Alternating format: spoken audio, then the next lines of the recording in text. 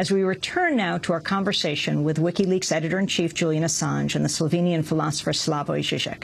These next highlights feature Assange. Again, 1,800 people gathered this Saturday for this unusual discussion, moderated by Democracy Now!, about the impact of WikiLeaks on world politics, the release of the Iraq and Afghanistan war logs, and Cablegate, the largest trove of State Department documents released in history. I asked Julian Assange about WikiLeaks' announcement that it's filing suit against the credit card companies Visa and MasterCard. You know, when Daniel Ellsberg released the Pentagon Papers, actually I spoke to Daniel Ellsberg last night, told me an incredible story about that, but did you know the New York Times had a thousand pages of the Pentagon Papers one month before Daniel Ellsberg gave the Pentagon Papers to the New York Times? Fresh news. Amazing stuff. Um, yeah, I'll leave that aside. um, sorry, what was the question? Oh, yes, the Muscat. So, when Daniel Ellsberg released the Pentagon Papers, did they suddenly change things? Actually, Nixon was re-elected after Daniel Ellsberg released the Pentagon Papers. The Vietnam War didn't stop. The information was very important in all sorts of ways, and its, and its importance over time was very important. The most important thing to come out of the Pentagon Papers was the reaction to the Pentagon Papers.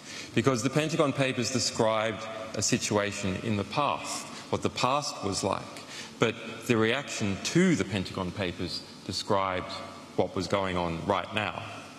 And it, sh it showed a tremendous overreach by the, Nix the Nixon administration, various attempts to cover things up. Um, and actually, the New York Times really probably wouldn't have published the Pentagon Papers unless they thought it was going to be published anyway, which they, which they did. It was scheduled to be published um, in four months' time in, a book.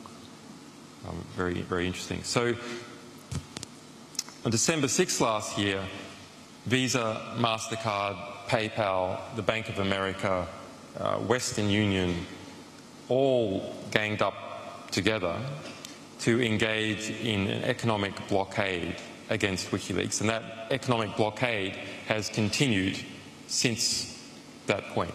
So it's over six months now we have been suffering from an extrajudicial economic blockade that has occurred without any process whatsoever. In fact, the only two formal investigations into this, one was on January 13 last year by Timothy C. Geithner, the Secretary of the Treasury, who found that there was no lawful excuse to conduct an economic blockade against WikiLeaks. And the other was by a Visa subsidiary who was handling our European payments, Teller, who found that we were not in breach of any of Visa's bylines or regulations. Those are the only two formal inquiries and yet the blockade continues.